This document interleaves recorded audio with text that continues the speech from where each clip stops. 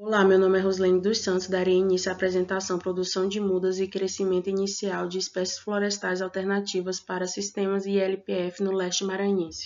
O sistema ILPF é o cultivo de culturas agrícolas com arbusto e ou árvores, pastagens e ou animais. As espécies utilizadas foram paricá, da família Fabácea, utilizada em lâminas de compensado, IP amarelo, da família Bignoniacea, utilizada em marcenarias, carpintarias, móveis, forros, postes e morões, e o sabiá, da família Fabácea, utilizado em estacas, lenhas e carvão.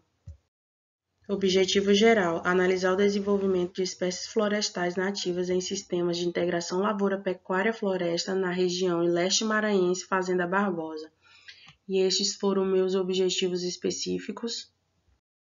Experimento 1: Produção de mudas, emergência e desenvolvimento inicial, realizado no Centro de Ciências de Chapadinha, Maranhão, clima tropical úmido, precipitação 1835 mm e temperatura acima de 27 graus Celsius. A condução do experimento foi feita em casa de sombra de 50% de luminosidade, delineamento foi inteiramente casualizado com dois tratamentos e 68 repetições e as variáveis analisadas foram porcentagem de germinação, índice de velocidade de germinação, altura da planta e diâmetro do caule.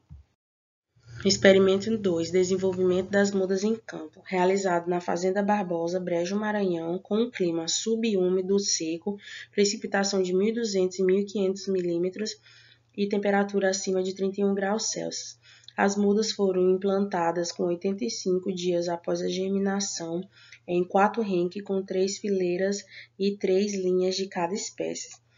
As medições foram feitas ao, aos 4, 8 e 12 meses após a implantação. As variáveis analisadas foram altura da planta, diâmetro do caule, taxa de crescimento absoluto e taxa de crescimento relativo. Resultados de discussão experimento 1 o substrato preparado com esterco bovino é recomendado para a produção de mudas de paricá, ipê e sabiá, já que forneceu melhores condições para o desenvolvimento das mudas. Experimento 2, o paricá e o sabiá foram as espécies que se destacaram nas taxas de sobrevivência e desenvolvimento em campo durante o período da avaliação.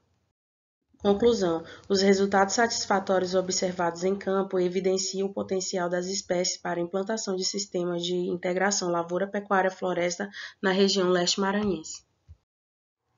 Essas foram as referências utilizadas para o trabalho.